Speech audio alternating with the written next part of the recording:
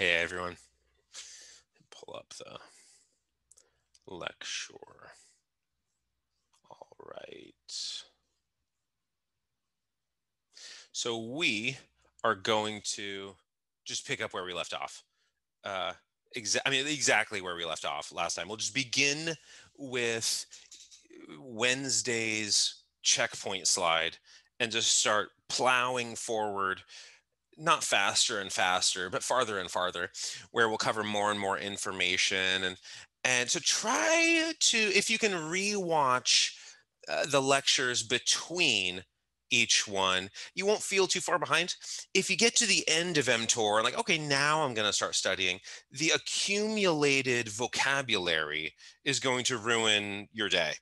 And so if you can try to learn a lot of those key terms and the major points and and physiological interactions as we go.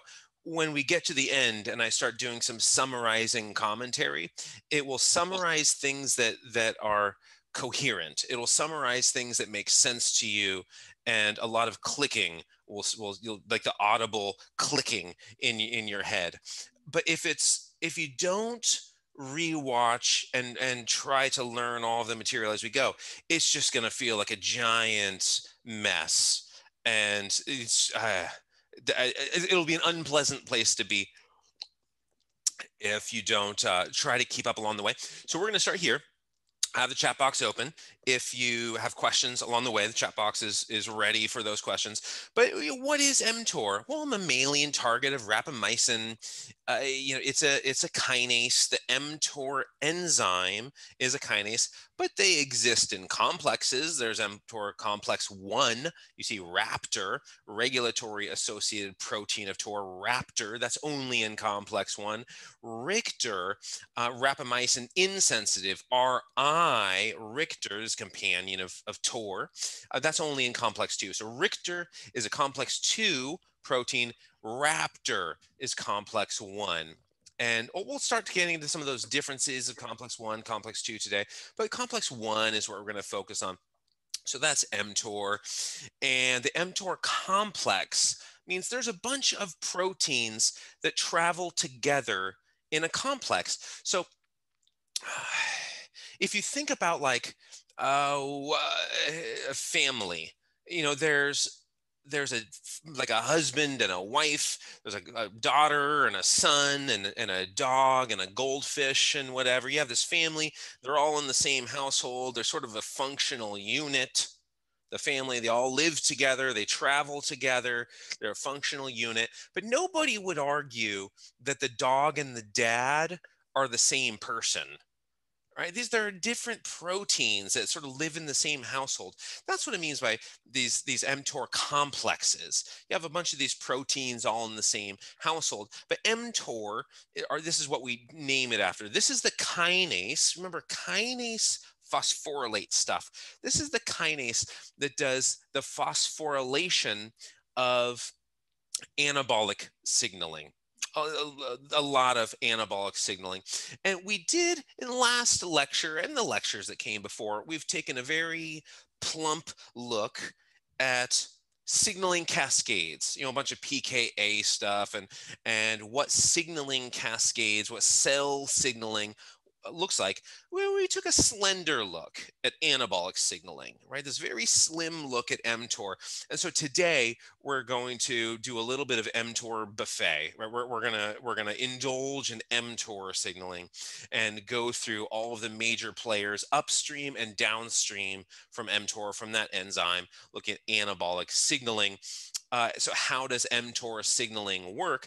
Is phosphorylation cascades, right? A bunch of kinases you know, PI3 kinase, protein kinase B, and mTOR is a kinase. I mean, you just go through P70S6 kinase and, and all this, this series of kinases. Um, uh, you know, the, even the MAPK, mitogen activated protein kinase, we'll talk about that. The ERK, MAPK uh, signaling, we'll talk about those. Uh, RSK, ionase, we'll talk about that. A lot of kinases remember kinase is an enzyme it's a protein enzymes are proteins it's a protein an enzyme that attaches phosphates to things. Um, a phosphatase is going to take these phosphates off uh, of these of these things. So like PI3 kinase, PI3K is going to convert PIP2 to PIP3. Uh, phosphatidylinositol triphosphate, PIP3, PTEN, which is phosphatase and tensin homolog. PTEN is uh, this is going to take it off. It does the exact same thing as exact opposite thing of PI3K. And so that's a phosphatase. A phosphatase takes the phosphate off. A kinase attaches a phosphate. So how does mTOR signaling work? This is phosphorylation cascades, right? Let's throw some phosphates on things. Let's let's attach phosphates to other you know enzymes and proteins and, and change their behavior phosphorylation cascades that's really what mtor is doing and what does mtor signaling accomplish eh, it depends on mTOR signaling one, complex one versus complex two. There's a little bit of a difference. Complex two, we will talk about very briefly. So I'll say that one first and sort of get it out of the way. It'll come up again in this lecture, but we'll get out of the way. Very comprehensive metabolic signaling, sort of the breadth of metabolism, complex two, a bunch of survival stuff. It's glucose uptake, tons of ion transport and cell volume control, uh, epithelial interactions. There's heart stuff, there's liver stuff, liver and, and cardiac function, actin, cytoskeleton. Um, lots of the, the breadth of metabolic functioning, survival, stuff like that. Complex two. Complex one, what is it doing? Grow, grow, grow, grow, grow. Divide, grow, grow, grow, grow, grow. That's complex one. And it's much better understood than complex two. Way more research on complex one than complex two. The interactions with complex two are easier uh, to do. Uh, you know, it's more sensitive to to inhibition and and complex one is actually downstream from complex two. One of the things complex two does is is uh, activate PKB. And what does PKB do? Well, it's upstream from complex one, right? So downstream from PKB, we are inhibiting tuberin, and tuberin was inhibiting Rheb, and and now Rheb is turned on. So so or at least you know preserves its GTP so combined. I'll talk about exactly what Rheb is doing, but complex 2 does a bunch of stuff you don't really need to know it for the test right this is muscle physiology as a course and so what we're going to talk about is complex 1 which is really this core regulator of muscle metabolism, of protein turnover, of muscle metabolism. Complex one, this core regulator of that. So, what is the foundation of muscle physiology? Well, you could say specificity of adaptation. You could say Henneman size principle in terms of its general function, neuro, neuromuscular function. And then you could say for the metabolism piece, mTOR. Now you could call it, you know, PKB signaling or whatever, but but there's other mechanisms of hypertrophy of interactions with mTOR than just PKB. And so mTOR is this critical regulator of skeletal muscle metabolism, anabolic cell growth and proliferation. Now it's all over the place. It's in the brain too, right? So uh, dendrite formation, um, proliferation, differentiation, this stuff, it's it's all over the place. But but skeletal muscle, that's what we're going to be talking about. And mTOR complex one, you see um, growth. If you want to, if you want to adapt, you want to grow and adapt and hypertrophy in a weight room or on a on an athletic field or whatever with some sort of training you elicit adaptation. mtor complex 1 is is critical and if you understand how it works you can interact with it. And if you can interact with it you can accelerate you know permit and accelerate uh, growth you know the response to exercise. People you know i used to work out at Baun fitness center the, the campus weight room and, and it's funny because i'd see people go in they're freshmen and then they leave as seniors and they haven't changed you know they they wear their little tank tops and and they look the exact same from the time they arrive to four years later they graduate. They sort of matriculate and graduate and the time in between nothing happens. But boy do i see them in the weight room a lot. And there's there's a way of of improving right? So there's there's a way of of encouraging those responses. Is there a genetic difference from person to person? Sure yeah there's a genetic difference. Some people have a better starting point. Some people grow better but everyone can do it just like in education you know some people have a have a, a, different starting point but everyone can can make progress. And often the people who start farthest in the lead don't end up in the lead because they're denied the uh, the encouragement, that necessity, that that sort of urgency, and and you know there was there I've mentioned this before. There was a student here when I was a student. His name was Marcel Gibson, and like he didn't even work out, and he could bench press over 400 pounds, and he like didn't even exercise. I mean, it's like uh, Andre the Giant and Princess Bride. I don't even exercise. You know, it's that thing. And I watched him do 405 cold, and like he's just like not even an exerciser. But that guy, if he had motivation, I mean, that guy could have been I mean, he'd make Ronnie Coleman look like you know a dwarf and eh, eh, but he just he didn't have the motivation. A lot of people sort of start in the middle of the pack and they end up it's that hungry wolf cliche. And and so how do you make progress? If you if you have an appetite how do you you know find satiety? How do you sate that appetite? Uh, so i'm just reading the comments. Uh, i am guilty of not training hard enough uh, so yeah, there's there's a lot of this. There's, there's a train hard component. We'll, we'll we'll talk about what all this stuff actually look uh, looks like, but it's it's a matter of regulation.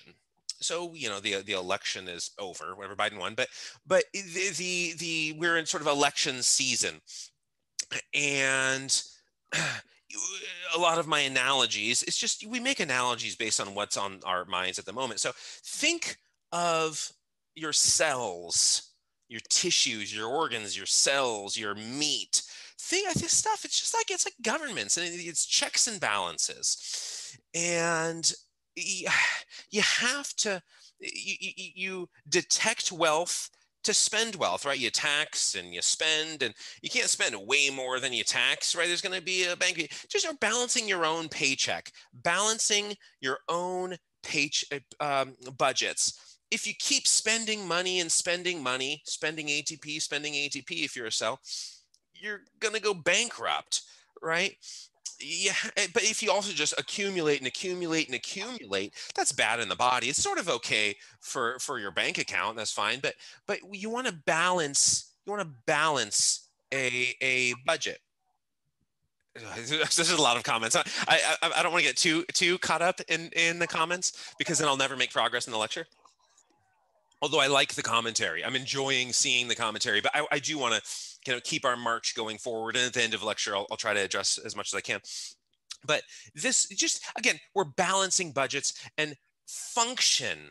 I mean, for our for for humanity, for biology, survival is impossible without regulation, but certainly function is impossible without metabolic regulation. And mTOR is so tightly regulated. It looks like a mess. It looks like a sloppy mess, but it is so well regulated. Uh, but this is just a nice article. You know, it's talking about MLST8 or Gable, um, G protein beta subunit, like G beta L Gable, same name or same different name for the same thing. MLST8 Gable, they're the exact same thing. Um, but so that's what this article is about. But really, what this passage is about is, is a nice characterization of mTOR complex 1 versus mTOR complex 2.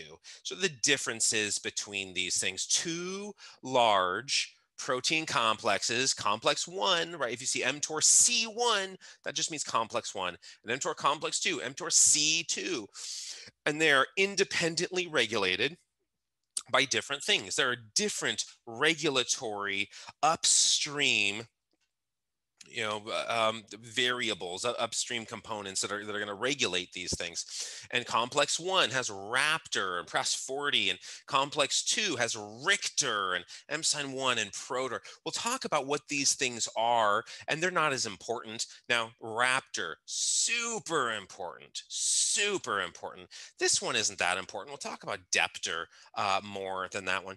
Um, but M, the mTOR enzyme, super important. Uh, Rictor, as long as you know what it is, these things aren't as as as important but looking at these at the diverse upstream and downstream the downstream targets and the upstream activators and inhibitors that's what uh, that's the important stuff is that they're differently controlled and they activate different things but remember mtor complex 2 the one with a rictor this is activating um, pkb akt or pkb that's activating that one and this is activating complex one. So downstream from complex two is complex one.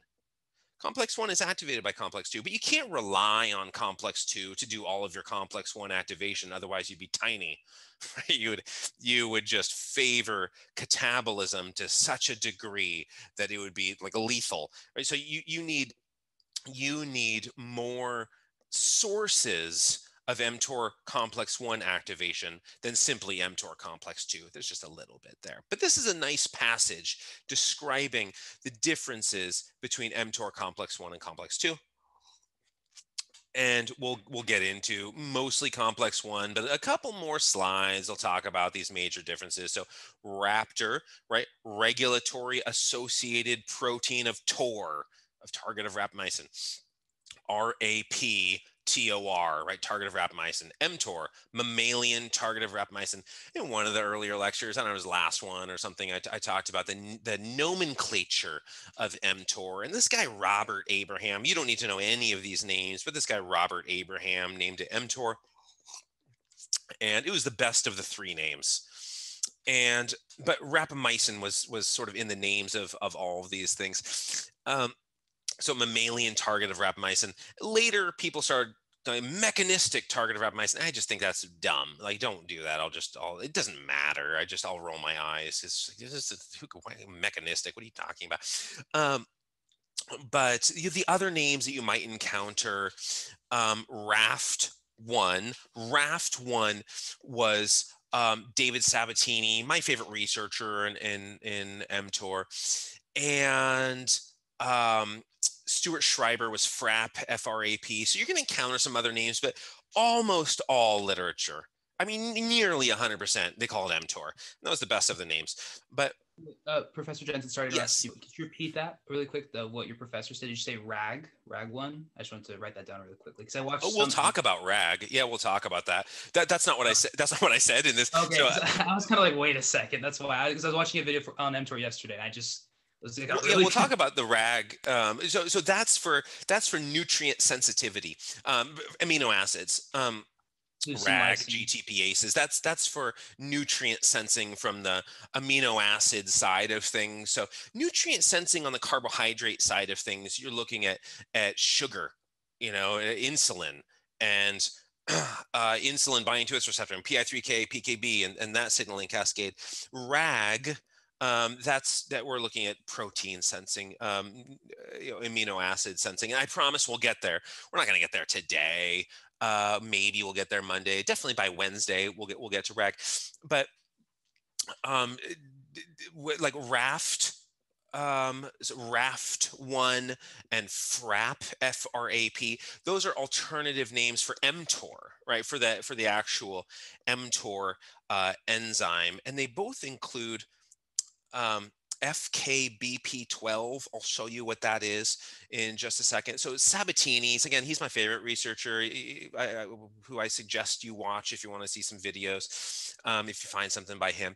But um, rapamycin and FKBP12 target 1, R-A-F-T.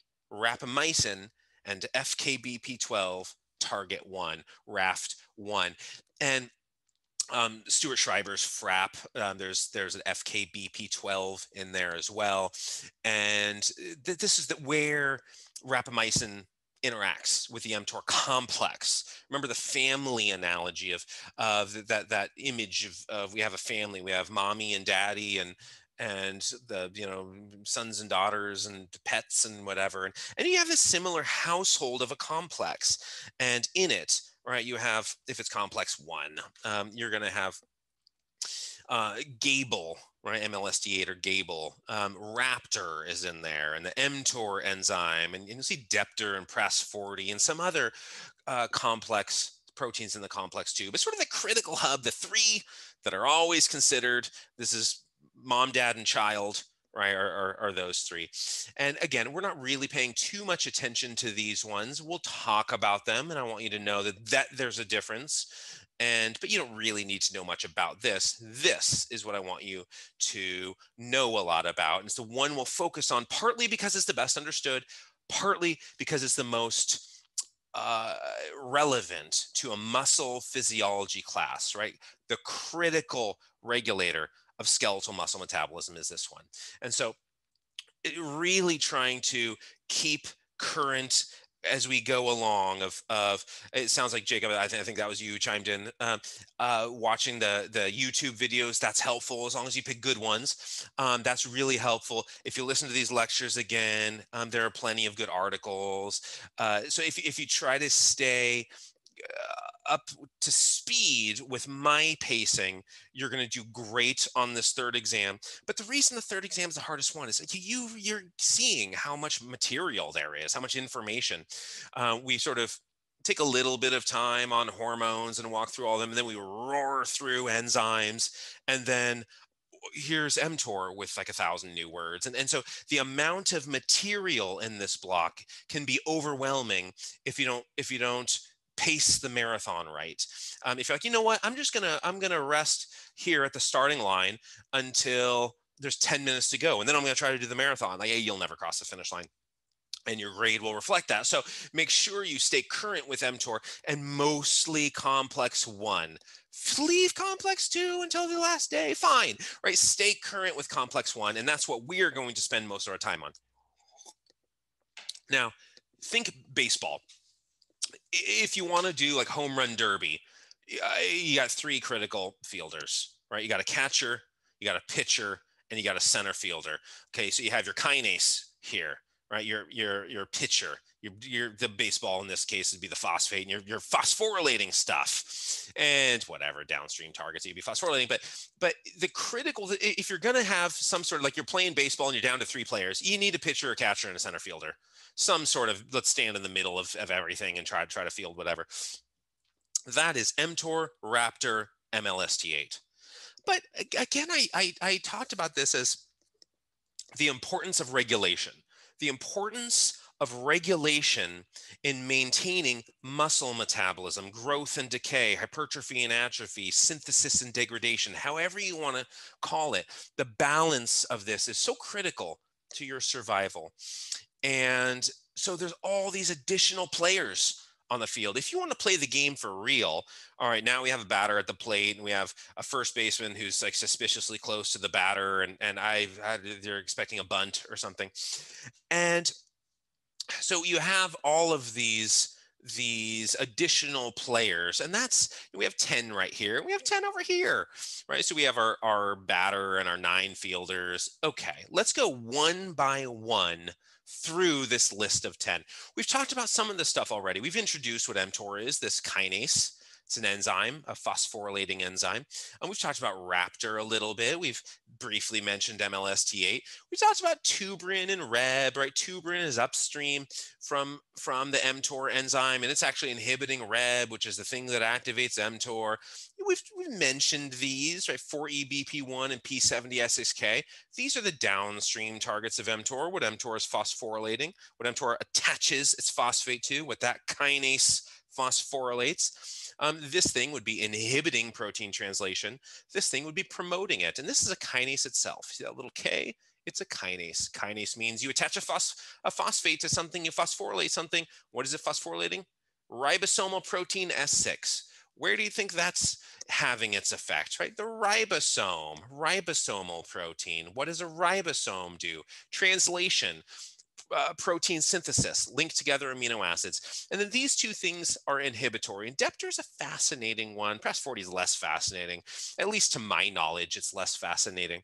And maybe future roles with with that one will be um, elucidated in the future like oh this is super interesting. But right now deptor actually is kind of fascinating but these are negative regulators of mtor and generally listed in this complex up here. But we'll just go uh, one by one but remembering that in anything you need regulation tons of umpires and referees and and you need judges and you need proctors. And to, to have anything be like if you don't have umpires in baseball uh, everyone's just going to cheat right? How do you know that was a strike. No it was i mean just watch like street ball. Foul. Oh i didn't touch you.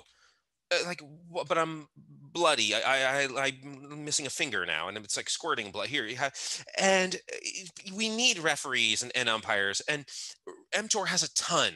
So, I mean, there's like a thousand referees who are who are uh, kind of referring everything and refereeing everything, and uh, we'll talk about those, but that's not really this stuff. Now, tuberous sclerosis complex, sure, that's a pretty big um, referee. It's it's it's uh, with withholding um, Rheb's activation and and um, we'll we'll we'll get to that one, but it's it's if you have a mutation in the tuberous sclerosis complex, you get a condition known as tuberous sclerosis, right? And so that is this out of control growth of benign tumors. So that's where we're starting to see a lot of regulation, where you get a mutation in one of these things and out of control growth. Um, so very tightly regulated. But starting with the mTOR complex, here you see Gable, G beta L, G protein beta subunit like uh, Gable or MLST8. That's the same thing. And then you see Raptor and you see mTOR. You see rapamycin it's not rapamycin, like it's like actin and myosin. It's rapamycin, and that's an inhibitor. And cell growth is the consequence. Cell growth and proliferation, right? So you grow, grow, grow, divide, grow, grow, grow, divide, grow, grow, grow.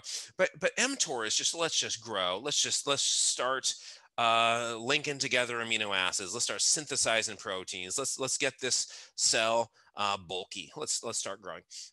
And so those three core proteins you see right here, Gable, Raptor, and mTOR.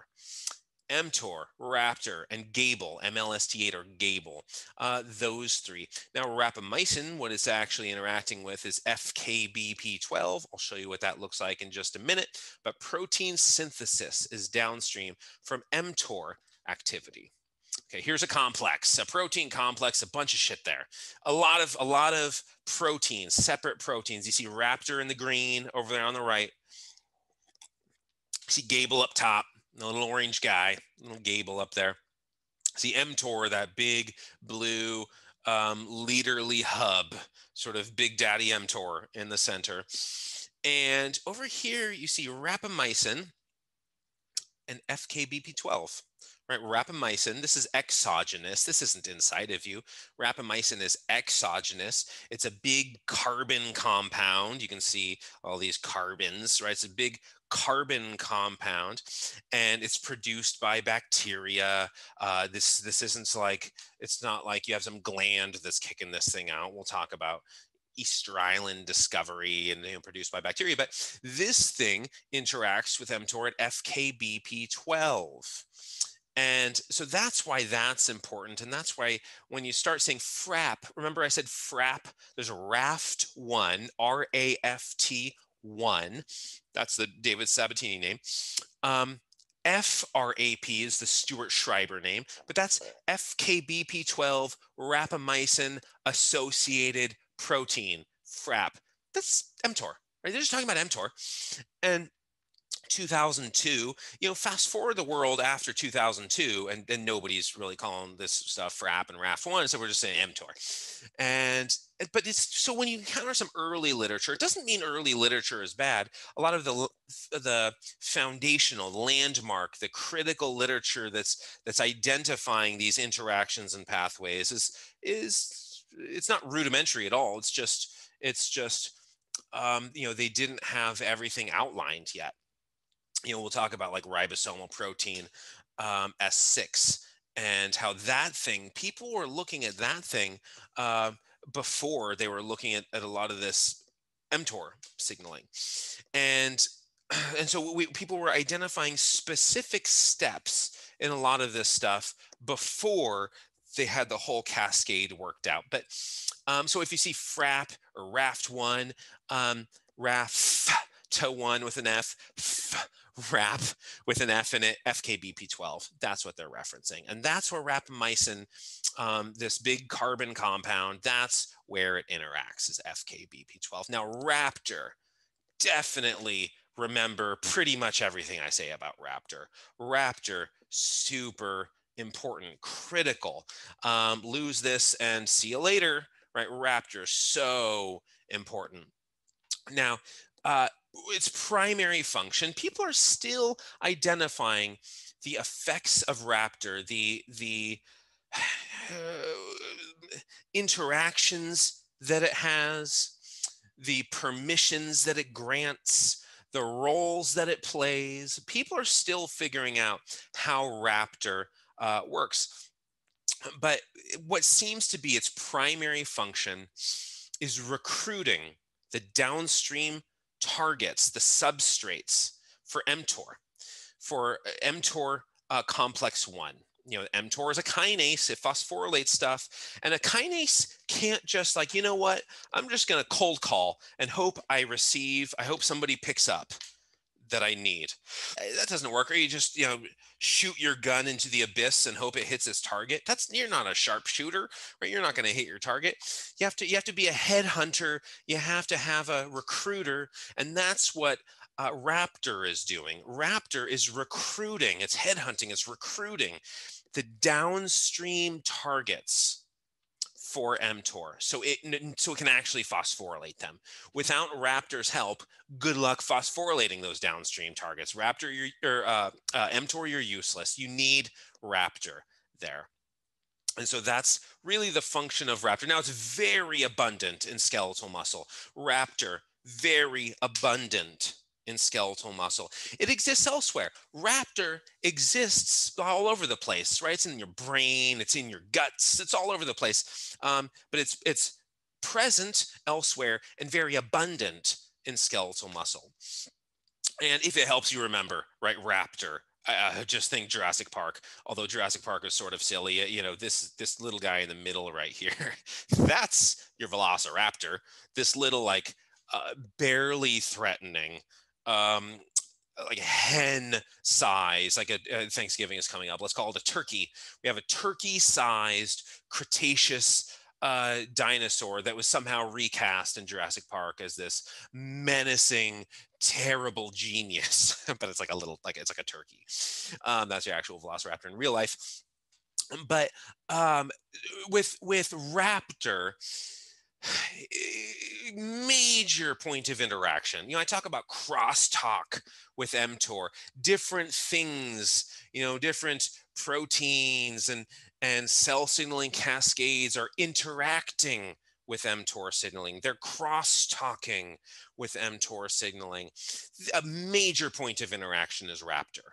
Huge point of communication is with Raptor and tuberin too tuberous sclerosis complex, TSC2 is tuberin. That's another point of interaction, but Raptor, huge point of interaction. And it can be phosphorylated on a ton of sites.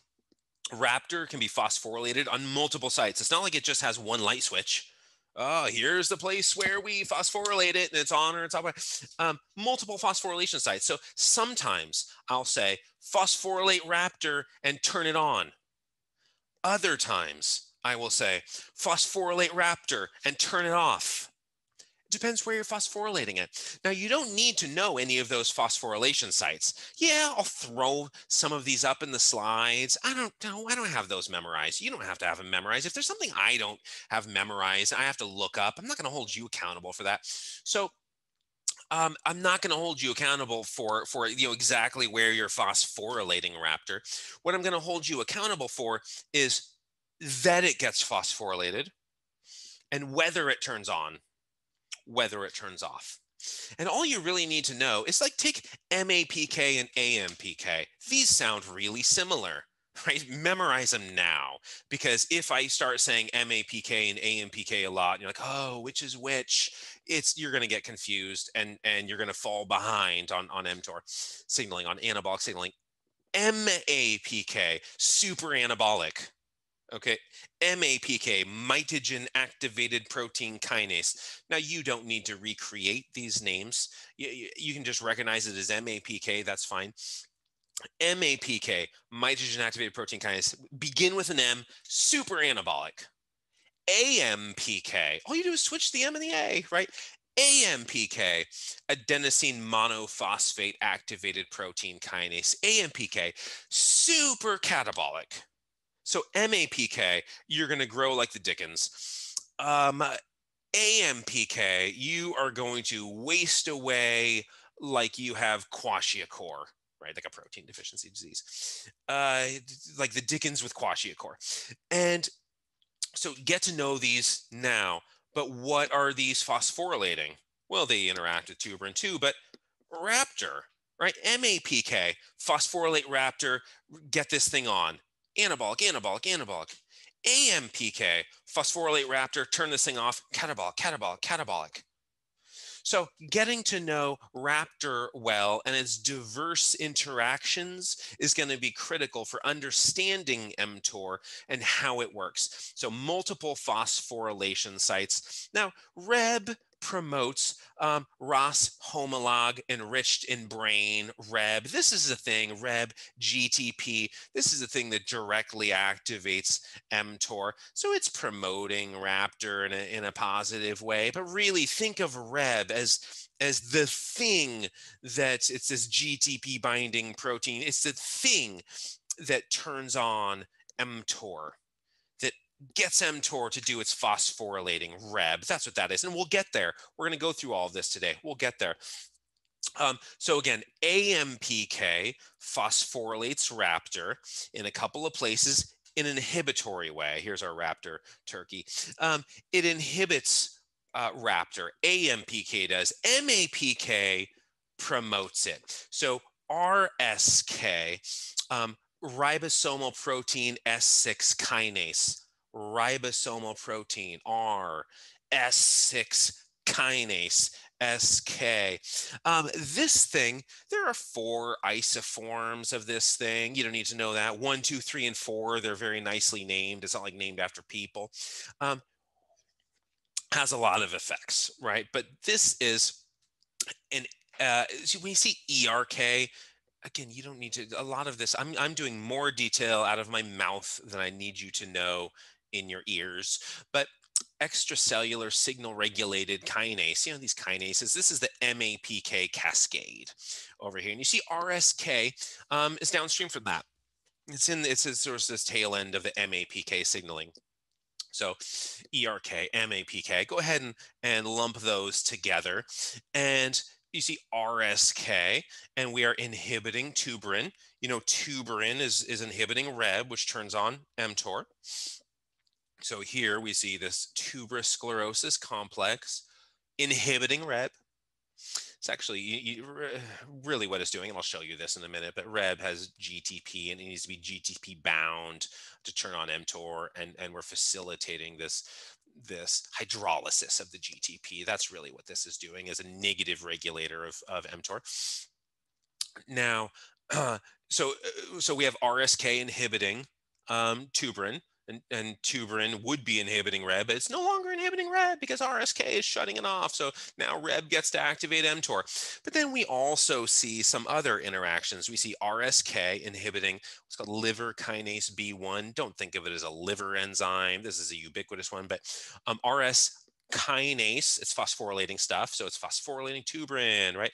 It's phosphorylating glycogen synthase kinase 3. We talked about that one. That one is turning on tuberin. So let's shut off this thing that's turning on tuberin. Let's shut off tuberin directly. Let's inhibit uh, LKB1, which would be turning on AMPK. Right? This is the sort of like the primary way of turning on AMPK. You just need a bunch of AMP to do this, adenosine monophosphate to do it. This will all start clicking soon. I realize there's a lot of arrows and words coming all of a sudden. So AM, ask a question really yeah. or no? Mhm. Can I ask a question real quickly or no? Yeah, go for it.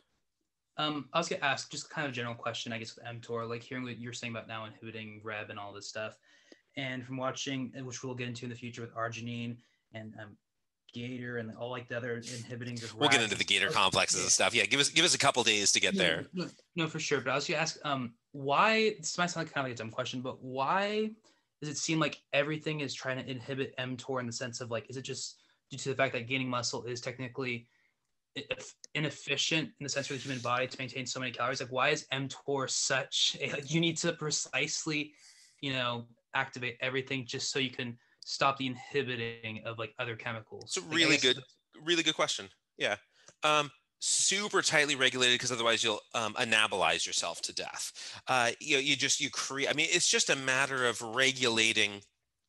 Uh, energy expense, and so my my reference earlier to the government, or even just balancing a checkbook. I, nobody is like checks are like unicorns, like nobody writes checks anymore. But but the idea, we all know what the idea of balancing an account. You have income coming in, and you have you have expenses going out. Your phone, your car, your rent, your food, your whatever's going out, and your paycheck coming in, and you have to balance these things. Protein synthesis super expensive. ATP consumption so expensive. I mean, it's like half the uh, metabolic price tag of the cell. So it's like rent. You know, uh, rent is like half your paycheck, and then everything else is sort of smaller expenses. You have uh, the cost of food. For, for me, that's really expensive. But but you, know, the cost of of you know electricity and garbage and and whatever utilities and and and the cost of entertainment and the cost of gas and the cost of all of these expenses aren't that big compared to rent you know they think of protein translation like that super expensive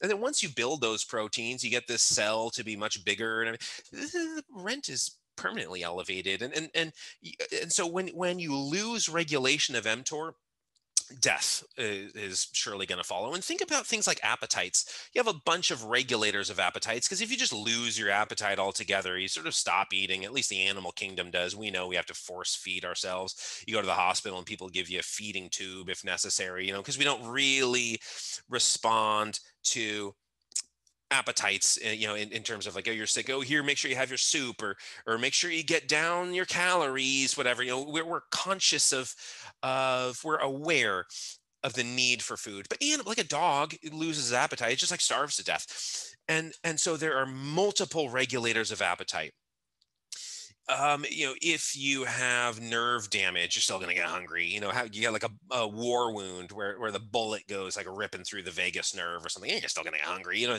there's hormonal regulators. There's all sorts of regulators of appetite, and because it's it's a problem if you lose your appetite. Now, if if mTOR signaling loses regulation, it's a problem, and you can you can do uh, you can you can force this in in mice and, and rats and you know get some rodents in the lab and and you can you can mess with their regulation and they don't live that long um, this sort of runaway metabolism and it just ah, it's, it's it's so we need a lot of regulators because what if one thing goes wrong what if one thing knocks out your appetite and like oh, i guess i don't have an appetite anymore like species would stop existing like, globally. I mean we'd have this like mass extinction because nothing felt like eating.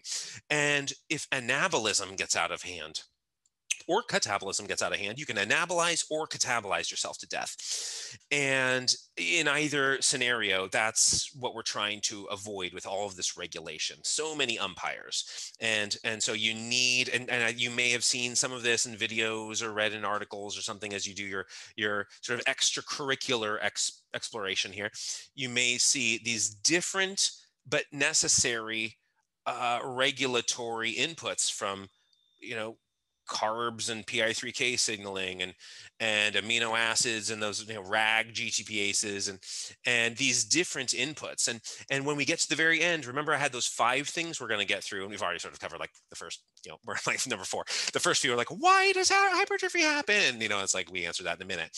But the we're in sort of the how hypertrophy happens uh, phase right now and when we get to the last one let's start combining things. Let's start combining Henneman size principle here and that's when we're looking at these diverse inputs because while you know as i just said anabolism you can do it to death catabolism you can do it to death and if you lose regulation you're going to do it in one direction or the other but in the presence of regulation you can tip the balance and do you want to be catabolic? I'll show you how, right? Let's manipulate some of these variables we've been talking about all semester.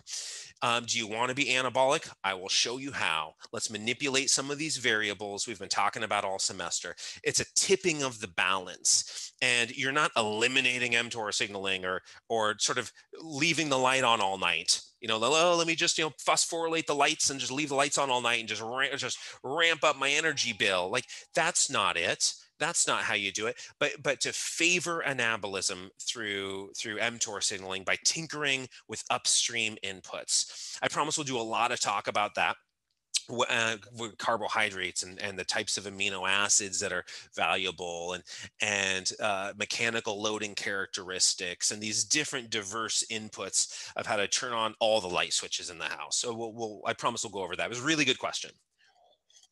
Thank a really good question is going to take time to to unfold and answer. So I haven't answered it yet, but I promise I will. Appreciate it. Thank you. Yeah. So um, getting back to RSK, uh, it, has a lot of functions. And so it is actually phosphorylating downstream ribosomal protein S6, right? That's a downstream target of mTOR. So there's mTOR signaling. And P70S6K, downstream from that, you see ribosomal protein S6, well, RSK. This is the, so when you see these these uh, parallel roads to hypertrophy. You know, we talk about mTOR as the critical regulator. Yeah, but there's there's some parallel roads at the same time. Um, RSK also suppresses bad. Remember, you know, BCL2 agonist of cell death, right? B, who cares? Agonist of death, right? So uh, RSK is inhibiting that. So while RSK is promoting hypertrophy through a bunch of pathways, so think MAPK signaling, um, part of that is through uh, Raptor, part of it is through tuberin. This part is also through tuberin. This part is also through tuberin and um, through uh, Raptor. But so we, we, have a bunch of Raptor and tuberin interactions. It's also um, inhibiting, you know, cell death, and it's inhibiting and it's promoting downstream targets of, of mTOR. So, so we, we have some other busy kinases that are involved here. So this this is you see RSK, you, you recognize that one.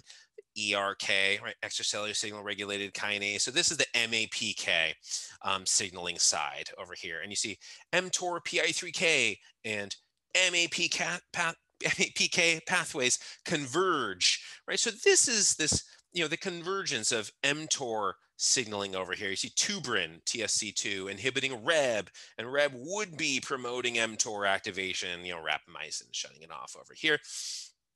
Um, so there's PI3K, and you don't see PDK here, but there's there's some there's some additional steps along the way. But so there's this convergence, but there's also crosstalk. These signaling cascades, MAPK and mTOR, they also communicate with each other as if by walkie-talkie right? You have CB system or something. You have like your radio frequencies they communicate back and forth with at like halfway point. So there's crosstalk and a convergence. So these signaling cascades um, they are both very anabolic. So if we think like MAPK, this is like prostaglandin signaling, and over here we have insulin signaling, but there's there's overlap. Okay, so let's sum up Raptor. Regulatory associated protein of TOR, of target of rapamycin, um, Raptor. It's this, it's you know, potentially Raptor may be responsible, bear some responsibility, not wholly responsible. Raptor may bear some responsibility for the assembly of the protein complex, right, of the complex here.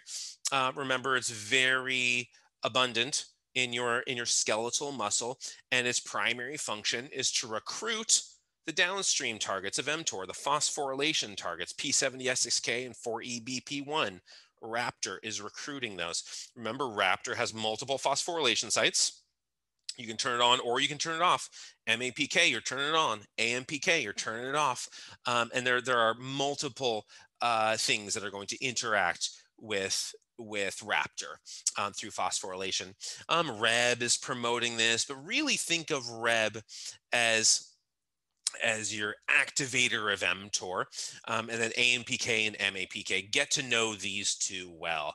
They look similar, and they are so. I mean, it's the alphabet is the only thing they share. These things, I mean, these are like the opposite. AMPK you know, I talk about a couple of enzymes as being your primary catabolic enzymes in the body. It's like PKA, you know, super catabolic enzyme. AMPK is probably the most catabolic. I don't know. You can argue PKA, whatever, but AMPK has has easy to make argument for the most catabolic enzyme in the body. MAPK, this is one of your most anabolic enzymes. And so, you know, when people talk about like catabolic hormones and anabolic hormones, yeah, okay, yeah, it's not that interesting. Catabolic and anabolic enzymes is much more fascinating uh, than the hormones. And so, you know, like cortisol, catabolic, okay, fine. You know, testosterone, anabolic, you know, insulin, anabolic, okay, fine, whatever. But getting into these enzymes, you know, the protein, the, the signaling cascades, that's where it gets really fascinating and you can do a lot of interaction. Okay, let's move on to MLST8 or again, Gable. If you've seen or read Interview with the Vampire, that Anne Rice book, uh, the movie came out sort of in the peak of it was uh, Tom Cruise and Brad Pitt and and Antonio Banderas and all three of them were vampires. And Christian Slater was an interviewer; he was the one doing the interview, and it's sort of like a pre-Twilight except actually good, um, uh, but or better at least. Um, but this is eh, present in both Complex One and Complex Two. I love that movie. I I, do too. It's it's uh, I just I'm, I'm reading that that comment box. It's actually it's actually uh, good and, and much better written than Twilight and much better you know acted than than Twilight. But it's it's but it's sort of all the hit actors and and it's it's really not bad. Oh, and who was the little girl in it? Um, I, I, keep wanting to say like Bernadette Peters. It's not her. She, uh, somebody, somebody will come up with it. Like the little girl vampire is also a huge, a huge name, and her, like her hair grows back and stuff. Um, I have a little clip I can play, and you'll you'll see who it is. But if this if this helps you, if you know the movie Lestat, that's Tom Cruise's character is Lestat, Lestat de Lioncourt, Lestat. So M Lestat, MLST8 right? M. Lestat. Is it cheesy? Yeah, I hope it's corny enough to remember. Though whatever is going to make you remember this, uh, Kirsten Dunst. That's right. Um, so she's a little. So there's so many huge actors. It's actually a reasonable movie. So, but I, I hope every time you you you encounter this movie or book or see it or see a clip or hear about it or something, you think of mTOR and you think of Lestat as a critical protein and mTOR signaling as, as MLST8. It's actually the least critical. It's the least interesting, the least studied, the least important, but it's Lestat. It's the Tom Cruise of mTOR, MLST8, MLestat. And okay, let's watch a, a tiny clip. Oh wait, that, that wasn't the clip. A tiny clip that I can't play. Oh, there it is. Somehow. All right, so there's Brad Pitt there's Kirsten Dunst screaming like the Dickens because her hair just grew back. What have you done? I hate you. You made me a vampire. There's there's there's MLST8. There's Gable. There's Gable in his wicker basket of a chair. But you get you get the idea. She like you know goes and cuts his face and he and he heals. So uh, this one it's it's again the least interesting, it's the least studied, and it seems what what MLST8 is doing, it it seems to be required for some assembly. Think of it like the nebulin of mTOR. If you remember nebulin as the the ruler of actin, right? The yardstick of actin and sort of the assembly of actin. Okay, okay, MLST8, it's it's a cheap and inadequate description of, of Gable, but sure, think of it that way as, as the nebulin of mTOR. And eh, there are some implications in cancer, right? If you have disrupted regulation, uh, Jacob's question earlier about why is this so tightly regulated? You know, you lose regulation and, and cancer is just manic takes over. And, and, and so in in cases like cancer, eh, maybe it's a target. Um, but like you knock out MLST8, Gable or or Tom Cruise or MLST8, whatever you want to call it. You you knock this thing out and not that much changes right it's not that much of a, of a difference when, when you do these these knockout conditions and and you you'll see a slight a very modest decrease in mTOR's phosphorylation of P70S6K okay N- knock out Tom Cruise and and and P70 SSK gets phosphorylated a little bit less. Seems to be no change in 4EBP1, but there does seem to be roles and in, as a cancer, um, you know, to, to, to sort of a cancer prevention um, you know preventing metastases or growth of uh, maybe there's some some regulatory stuff there but you know deletion of this and mTOR complex one sort of carries on sort of carries on. So this seems to be kind of the least important of you know, within that complex but it's it's a it's a core protein in both complex one and complex two. Okay let's get into some of these surrounding players. Ampk You've seen this one before. You've seen AMPK, adenosine monophosphate, AMP, ATP, right, adenosine triphosphate, AMP. That's what this AMP stands for. Um, get rid of a couple of the phosphates, and you have AMP. AMP activated protein kinase. This is a kinase. It phosphorylates stuff. It's a kinase. It attaches phosphates to things, and it's activated. Really, uh, L, LKB1, liver kinase B1, but but you have to bind AMP to it and I'm going to talk about that later. Um, we'll talk about, we'll have like a whole lecture on AMPK, critical, massively important uh, regulatory enzyme. People call it the metabolic master switch of deciding whether you're anabolic or catabolic. AMPK, massive at this. Now, PKB, AKT, or, or, or PKB, this I, I don't know if I mentioned this before. I probably did. It's it's a it's a mouse he identifies a mouse with thymoma with thymus cancer. It's just like that's like the name of like the it, it's, it's, a stupid name. Um, originally names are, are going to be so mtor is a stupid name. It sounds cool mtor you know it's like thor and his hammer and whatever. But uh target of rapamycin what the hell are you talking about? Some like chemical from the island with those huge stone faces? That, that, that's what you're talking about? It's like some, some bacterial uh target of rapamycin. So that's sort of a stupid name. Um, so is AKT, but these, these are the original names of things stick. And so AKT is still in the literature. Eh, maybe half the time you're going to see PKB, half the time you're going to see AKT. Get used to it. Know that AKT, eh, you know, a mouse with like thymus cancer. You can look up the story. You know, I'm, I'm my my I haven't read that story in a long time, so that I, I have an incomplete narrative of, of of what the actual study was doing. But like that's essentially what it was doing, and um, but this is PKB, protein kinase B, much better name, but you're going to see it both ways in all the diagrams. You're going to see it both ways in all the articles. You're going to see it both ways, probably in like if you watch YouTube videos or something, you're going to see it both ways. Opposite effect on on tuberin, right? TSC2, tuberous sclerosis complex. So um, downstream, where we're inhibiting Rheb. You see a little GTP right here, guanine triphosphate, a little GTP. So what this is doing is facilitating the hydrolysis of the GTP. You need um, GTP-bound Rheb to activate mTOR, and let's hydrolyze it. So that's the regulation from tuberin if you if you deactivate tuberin, right, you deactivate the tuberous sclerosis complex. Remember all this stuff, a bunch of complexes. You deactivate this, then um, Rheb, GTP bound Rheb, is free to activate mTOR. If you promote tuberin, you're inhibiting REBTOR. Uh, REBTOR. That's actually a better name. sort of. Nah, not really. Um, but, but mTOR via via Rheb. And you see FKBP12.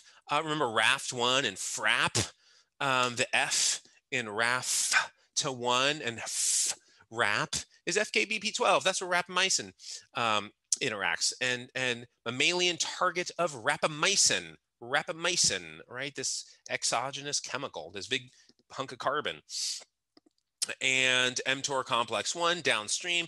You see P70S6 kinase, let's phosphorylate ribosomal protein S6, so P70S6K and, and ribosomal protein RPS6. Protein synthesis, let's grow. 4EBP1, you phosphorylate this, shutting it off. And so this would be inhibiting protein synthesis, and it no longer is. And here it's a little bit more detailed right? This thing's a, uh, just a little bit more detailed you know again um, tuberous sclerosis complex. Tuberous sclerosis is that condition of this of this unregulated um, uh, rapid out of control uh, tumor growth benign tumor growth. And so we we we need, and if you have this mutated form, it's just go mTOR, go mTOR, go mTOR, right? And um, so what it's doing though is it's it's facilitating the hydrolysis of that of that GTP. And uh, all you need to know here is the 4EBP1, S6K1 or P70S6K, and the ribosomal protein um, S6 and like stuff like this like eukaryotic elongation factor 2 kinase who cares? Yeah I, this is what i care about right here to here to here ribosomal protein s6 we're growing. Over here um, if this is on where we're inhibiting growth and we shut it off with its phosphorylation. Remember raptor recruits these downstream targets mtor is the kinase that phosphorylates them. Phosphorylates both of them shutting this off and turning this one on Deptor uh, Pras40, negative regulators of mTOR, and often you'll see these as sort of core proteins. Um, FKBP12 and rapamycin over here. Um, you see this inhibition line. In all these, you see like inhibition lines. And uh, Pras40, this inhibition line. There's MLST8 or Gable. And you know, Raptor's recruiting downstream targets so that mTOR can phosphorylate them. It looks like mTOR is phosphorylate, or it looks like Raptor is phosphorylating stuff. It's not. It's recruiting them so that mTOR can do the phosphorylation. This is the kind kinase that does the phosphorylation. Um, but both of these, um, they're inhibitory proteins and you just phosphorylate these things and you relieve their inhibition. You relieve the inhibition when you phosphorylate them, but Deptor is the fascinating one. Um, Deptor, it, we're inhibiting we're inhibiting the kinase activity of mTOR. Deptor is inhibiting the kinase activity of mTOR, the phosphorylating of mTOR. Um, but that's not, you know, that would create some problems, right? If you in, if you inhibit mTOR, mTOR is preventing atrophy and and apoptosis, you know, programmed cell death and and autophagy, right? The self dining um, autophagy, the sort of self ingestion. Uh, so mTOR is stopping a lot of this this degradation. And Deptor, if it if it inhibits mTOR, it's promoting you know, autophagy and it's promoting apoptosis. And so Deptor has its own life. Deptor is like, you know what? I'm stopping you, but I'm also going to uh, inhibit, I'm going to halt apoptosis at the same time. So Deptor is fascinating. It sort of plays two lives. It's a gray character. You know, it's not just the all-out hero, right? It's not Hermione Granger that's just sort of hero beginning to end. It's uh, like a Snape or something, or like every single character in Game of Thrones. It's that gray space where they're one part hero, one part villain. Um, except for Ned Stark, he's all hero. But sort of everyone else we have some we have some gray space. He's like a lannister or something.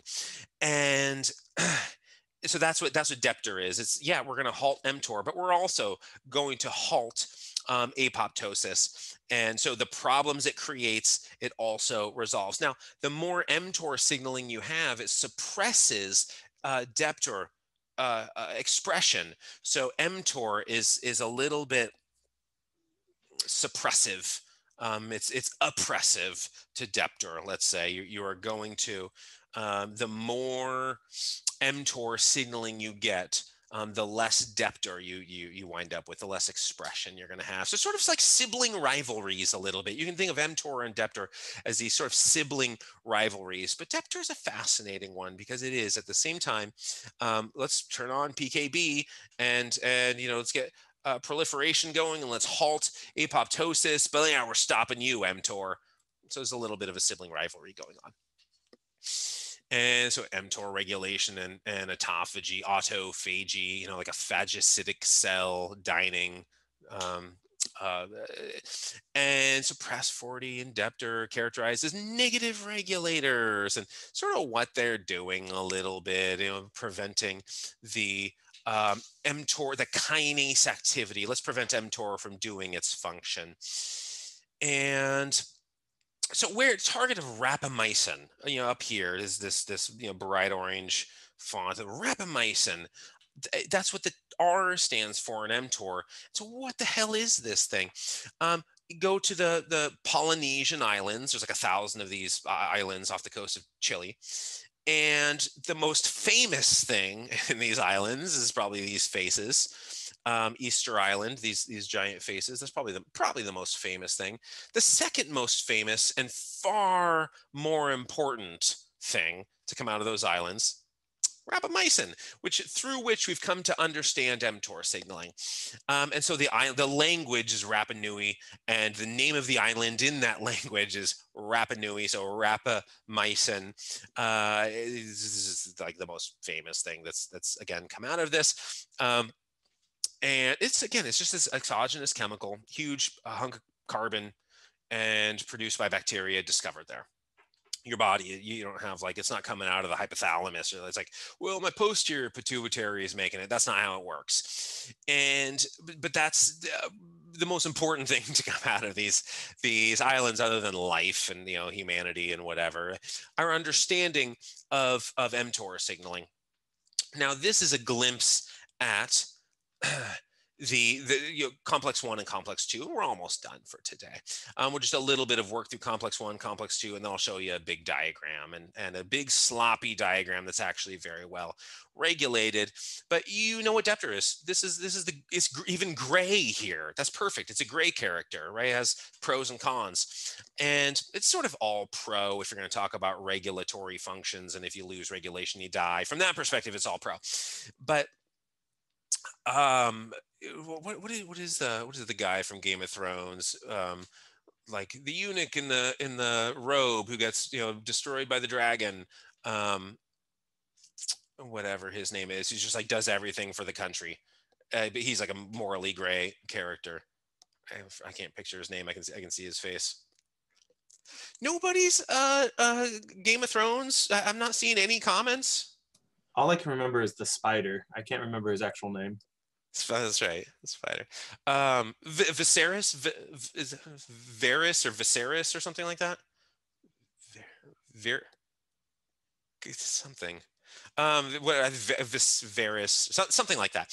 Um, so that's like everything is you know for country you know what, what, are you doing this for? Well you know i'm doing it for westeros. Um, and so yeah all pro but but morally gray that's deptor because it's it sort of knocks out mtor but okay but let me stop um, the, the destruction over here.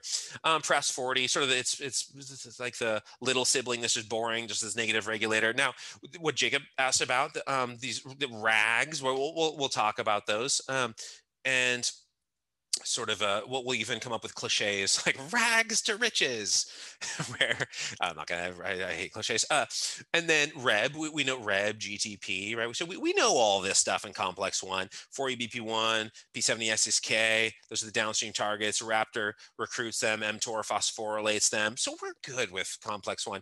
Now complex two deptor msin1 and protor okay these are different and rictor we talked about rictor this this rapamycin insensitive. Now it's not wholly insensitive, and we'll, and we'll talk about that.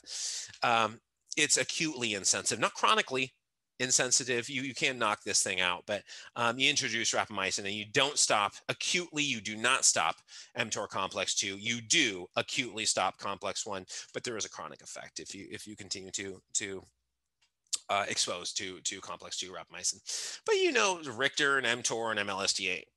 You know what PKB is down here. And this is protein kinase C. But I talked about all those diverse effects of mTOR complex 2. It's just eh, the, the, it's so broad it's so vast these effects everything from the liver to the to the heart to it's tons of ion transport you know getting into sgk tons of ion transport um, actin cytoskeleton, stuff like that. And, You know, where the hell is our sodium going? And its downstream targets or the diagram. Um, doesn't show doesn't show protein kinase C, but that's also one of them is, is PKC. And you don't really need to know these things to any degree of detail. Uh, SGK, um, primary downstream target for for you know solute transport, you know, and so I mean, there's a lot of like epithelial functioning and and and uh, hydration regulation, ion regulation stuff. But uh, you know, mSin1, this is a recruiter of it, right? It doesn't seem to recruit PKB, but it does seem to recruit um, SGK. So this little guy is like a raptor recruiter uh, for downstream uh, targets. Also, um, this one, uh, Protor, seems to be um, uh, a recruiter to to to be vitalish in the in the recruitment of in the in the phosphorylation of getting the mTOR enzyme to phosphorylase downstream targets. That's all I really care about complex two because it's not really muscle physiology other than this. This you're going to have to Lord Varys. Yeah, that's what it is. Um, in the comment box, uh, the um, the the grayest character of all, and uh, so mTOR complex two right? You see Rictor, mTOR, MLST8. Downstream, one of those targets, right? PKB, AKT, PKB, same thing. These are the exact same thing. mTOR, phosphorylase PKB. We know what's downstream from PKB, mTOR complex 1, right? So we're, we're going to inhibit tuberin, and that allows Rheb to have its GTP, right? So what would be happening uh, with tuberin is we would be hydrolyzing the GTP. So Rheb GDP, you need Rheb GTP to activate mTOR. And um, so, so downstream from complex 2, we're activating a, uh, PKB and inhibiting uh, tuberin and allowing Rheb to activate mTOR complex 1. So there is a connection. Now this is it's super busy and it looks ridiculously busy, but you're going to start recognizing stuff. I mean, we're only going to go through eh, less than half. You see bad, right? B, blah, blah, blah, agonist of death apoptosis, right? Agonist of death. And so PKB, we're stopping that. Um, you see your PDK upstream from, from PKB. So technically we are, uh, as we go through, uh, PI3K is going to be on here somewhere. I don't, I don't, know where the hell it is. You'll see PI3K on here somewhere. But uh, PI3K is converting uh, PIP2 to PIP3, right? And and so it's up there. Um, so PI3K is converting PIP2 to PIP3, and this is actually a docking station, uh, uh, PIP3, so so that PDK can activate uh, PKB. And then from PKB, we're, we're stopping uh, tuberin, which is stopping Rheb from activating mTOR. You see 4EBP1 and P70S6K. Uh, you see PRAS40. Um, I talked about liver kinase B1, LKB1, ubiquitous. It doesn't have to be liver. Um, and there's AMPK. You See the insulin receptor, insulin receptor substrate, and and so there's a lot of these things are are beginning to be recognized. So there's you know GLUT4 and the mobilization of GLUT4 and you know SGK we talked about that but but a lot of there, there's your PDE phosphodiesterases a lot of these things there's your MAPK you know signaling and there's a lot of these things you're going to begin to to identify and a kinase, remember this is a thing that attaches a phosphate to something. So just the kinases, you see all these kinases, they're attaching phosphates to things.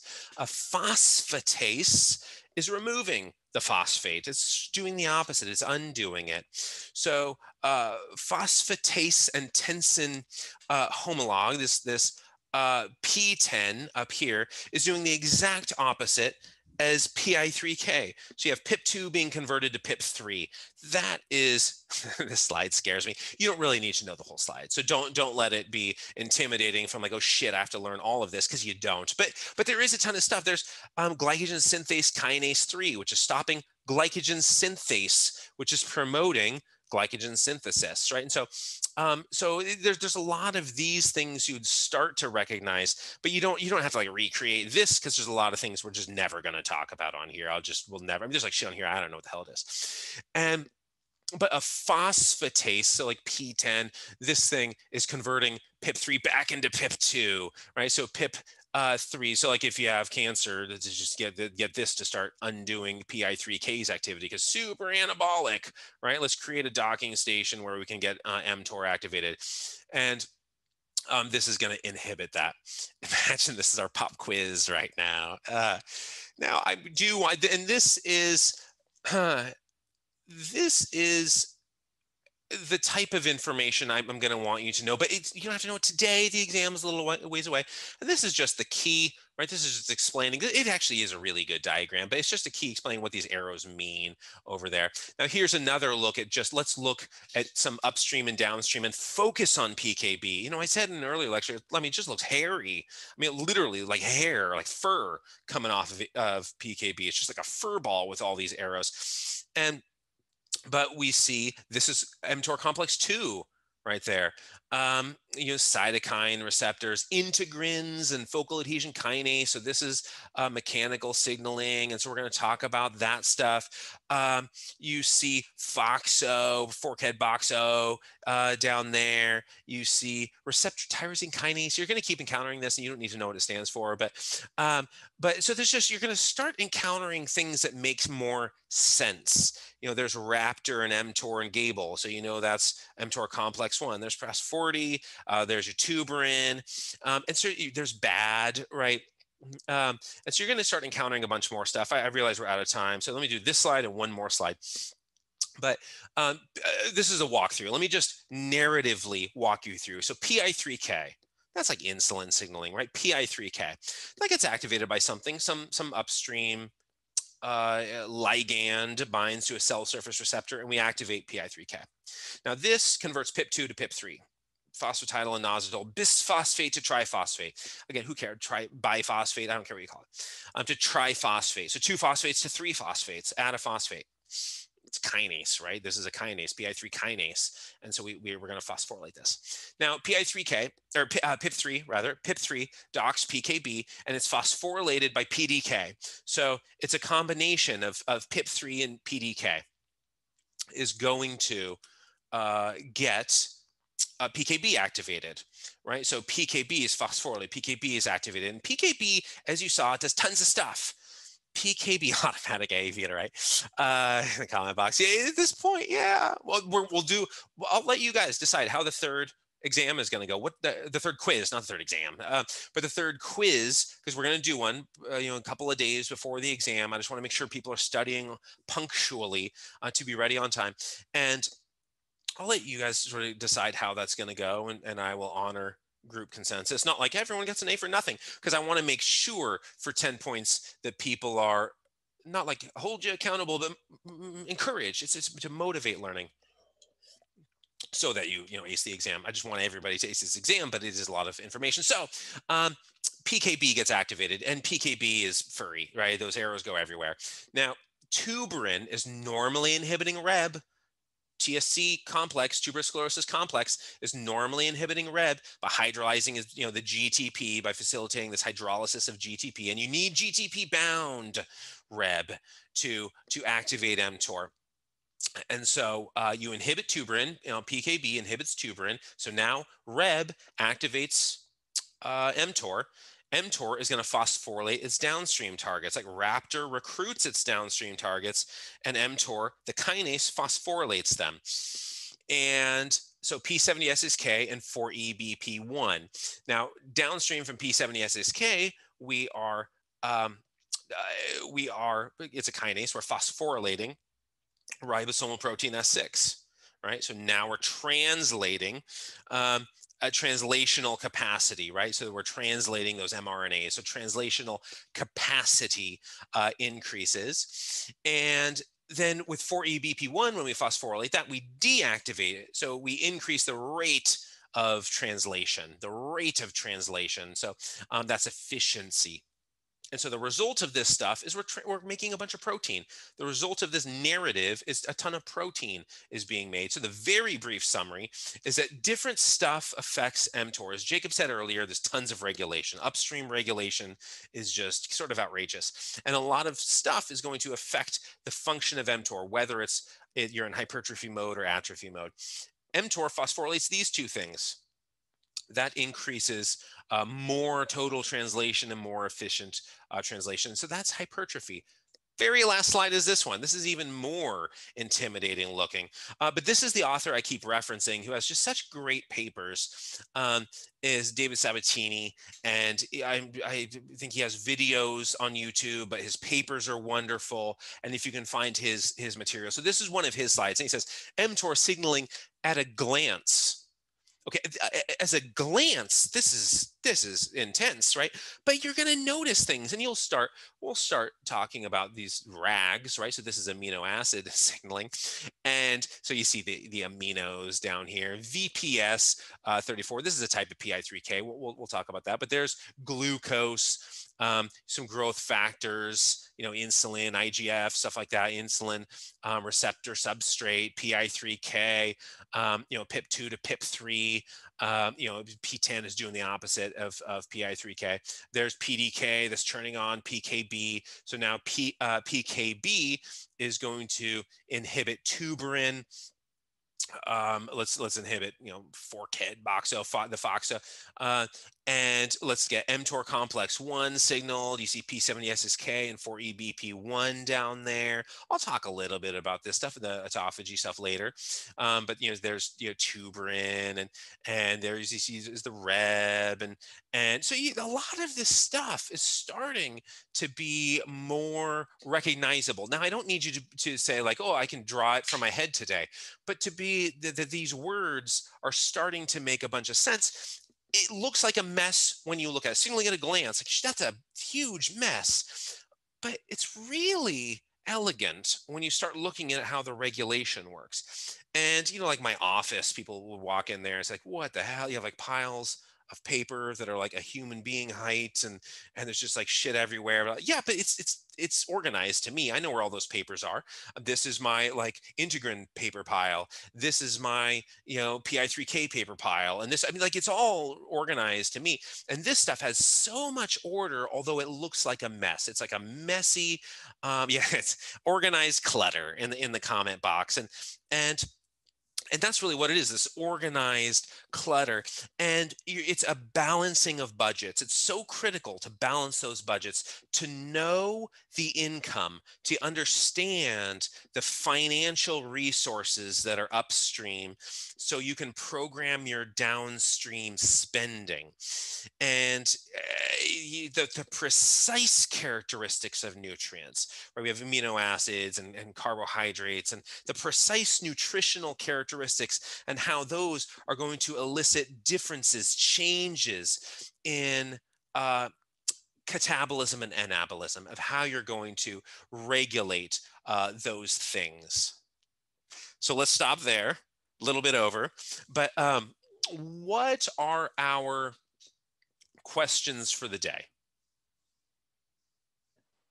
If you were okay, if we had like let's say like an Olympic lifter easy power clean, like three sets of three, just full power. And then we have a bodybuilder, you know, getting a pump. Well, I mean, of course, he's gonna gain size, so I'm totally activated differently. But I guess what I'm trying to ask is, I know diet, leucine, lysine, arginine, complete proteins are needed for the complete activation or optimization, I should say, of mTOR. But for these athletes who are more neural, these athletes who like like Olympic lifters who look very skinny and they're just there's complete neural recruitment. Is mTOR different at all, or is there like any differences we've seen in science thus far? Yeah, yeah. The the, the parameters of exercise really matter. And, and so we look at stuff like the, the characteristics of exercise that increase growth hormone. We talked about that, like be very lactatey right? Just have like tons of blood lactate and work out for a while, high volume. You know, you're getting more you know, testosterone too, and stuff. But uh, but the the growth factors are going to respond to that type of exercise much better. And when we're looking at activation of mTOR, hypertrophy, let's get more proteins, not just let's uh, enhance rate coding and let's get you know GABA to fall asleep at the wheel and and and um, you know all of these kind of neural responses that's that adapts really well in those uh, Olympic lifts but there isn't much eccentric loading, eccentric or eccentric loading.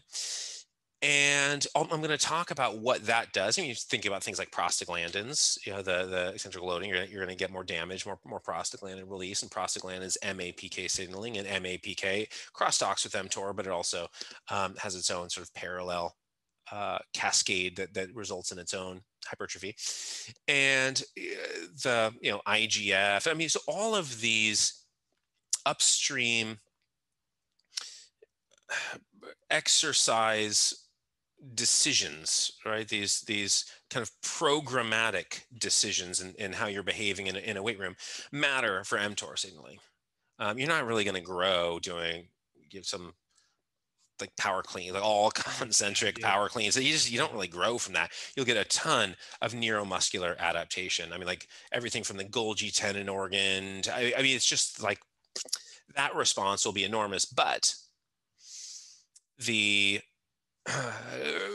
you asked a question a long time ago that about I think it was Dorian Gray, and it was sort of similar, where I said you know, the four different. I, I, gave this giant long answer where, where it's like you know the, the inputs.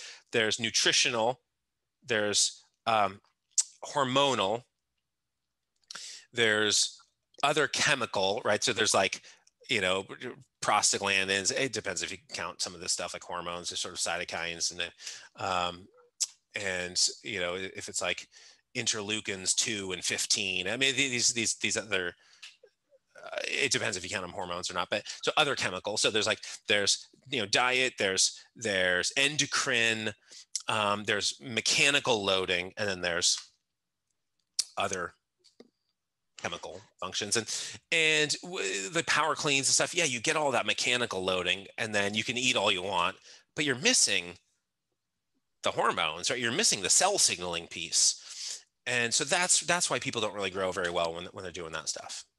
Mm-hmm. And I mean that's kind of what I figured, I just didn't know if like anything chemically would have been different. So thank you for that. And I guess last really quickly too, because I know people have other questions. I don't want to take up too much time, but if we were to get someone who like I guess is a power lifter or you know Olympian, and we were like, you know what, we're gonna put you in a bodybuilding program, due to their neural adaptation, due to all of that, will mTOR like due I guess to just like their you know, just like their mechanical advantages and stuff that they've had due to their prior history. Like one one example could be Charles Glass with him doing gymnastics, I think at Stanford, if I recall, and then he became a bodybuilder in Singapore for a bit.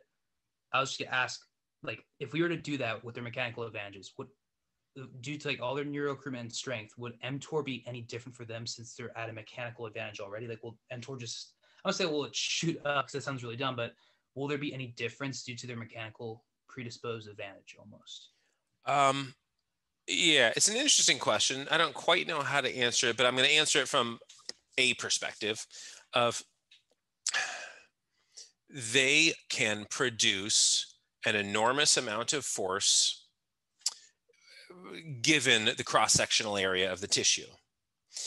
And that force generation, if they start controlling that in, in a way that, that elicits a, a chemical response, I think they will have a bigger, they will, uh, you know, the, the, the tissue is maybe not equipped to tolerate slow loads of heavy eccentric forces and it is strong enough to produce those load profiles but it is not reinforced enough to tolerate them. And I, I, I think even stuff like mechano growth factor. Just go nice, slow, eccentric reps, uh, and and you're going to get a ton of MGF.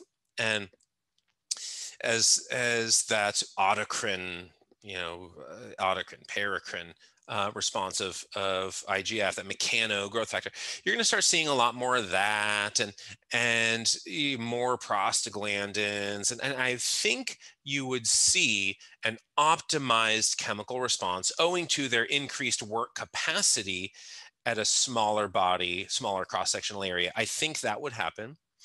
And also, I think to succeed in something like that, gymnastics or power clean, Olympic lifting or something, you probably have a very high percentage of type 2 fibers. I don't think there's a lot of Olympic lifters who are, you know, 85% type 1.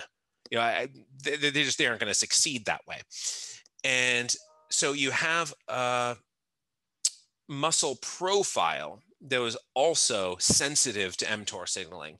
High growth ceiling, uh, mTOR signaling is much more um, active in, in the type 2 fiber compared to a type 1. And, and so I think the answer to your question is yes. And there may be more to it than comes to my mind, at least, you know, at the moment. But does that kind of answer?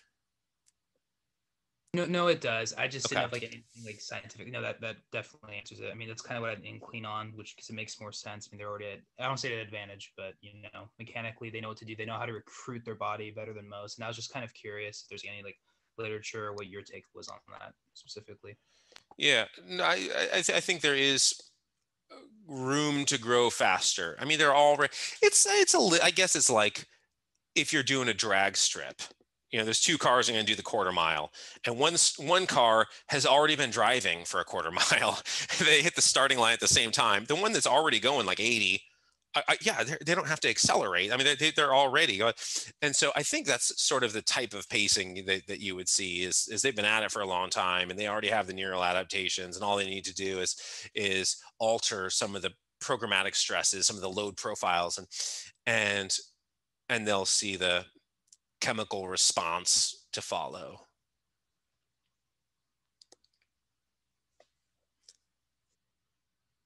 I just love cell cascades because it's just like more equations that I can sit there and manipulate. And it's, It is it is fascinating stuff, and there are a ton of interactions, and people will continue to identify more points of interaction, you know, behaviorally, nutritionally, supplementally, um, uh, pharmacologically, and but once you have the map down, if somebody says, you know, just turn left to McDonald's, you, you know what that is. You, you, you know how to incorporate that.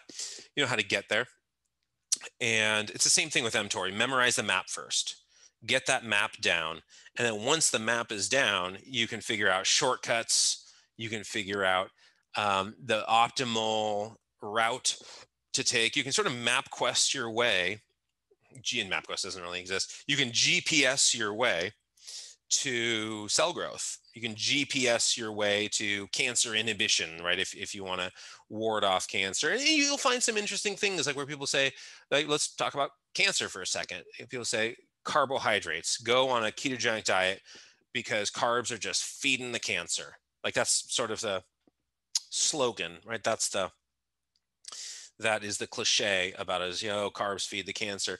Yeah okay so the, the metabolism um, is is uh, you know um, glycolysis. I mean it's it, look at somebody's you know people will talk about lactate levels and fatigue and whatever and, and like oh i woke up the next day and my lactate's still up. Like okay i go to the oncologist for that. I mean if your blood lactate is like super high this is not like you worked out yesterday and and so there's a very glycolytic metabolism and do carbs feed it yeah sure there's a literal there's also a figurative one and when we start looking at things like ampk and this uh, activation of AMPK um, through uh, depletion of, of carbohydrates and, and what AMPK is, is doing to a tumor. And, and, and so there's, it's more complicated than the surface cliches, feeding the cancer. Like, okay, let's just, let's not be crude in our understanding of physiology. Let's, let's, let's go through some steps and, and sort of work out what's actually happening here.